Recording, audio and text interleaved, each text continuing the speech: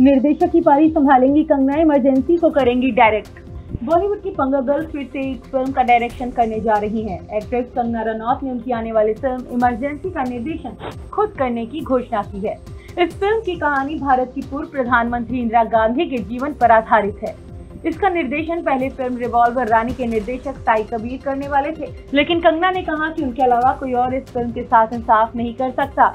उन्होंने स्वदेशी social media app को पर इस बारे में एक पोस्ट लिखी है। इसमें उन्होंने लिखा है कि एक बार फिर निर्देशन की दुनिया में कदम रखकर खुश हूँ। इमरजेंसी पर एक साल अधिक समय तक काम करने के बाद मुझे लगता है कि मुझसे बेहतर इसका डायरेक्शन कोई और नहीं कर सकता। लेखक रितेश शाह के साथ इस पर काम कर रही हूँ। अगर इसके लिए मुझे अभिनय से जुड़े बाकी कामों का बलिदान भी देना पड़ा तो मैं तैयार हूँ। कंगना ने अपनी इंस्टाग्राम स्टोरी में कुछ वीडियो साझा किए थे। जिसमें वो इस किरदार में फिट होने के लिए अपने शरीर का माप देती नज़र आ रही थी। कंगना ने खुद अपनी स्टोरी में लिखा था कि उनकी ये फ़िल्म 1975 की इमरजेंसी पर आधारित होगी। कंगना इस फ़िल्म के लिए अपने प्रोडक्शन हाउस मणिकर्णिका के ऑफ़िस में अपना नाप देती नज़र आ रही थी। कंगना रनौत ने इससे पहले साल 2019 में आई फ़िल्म मणिकर्णिका का निर्देशन भी किया था।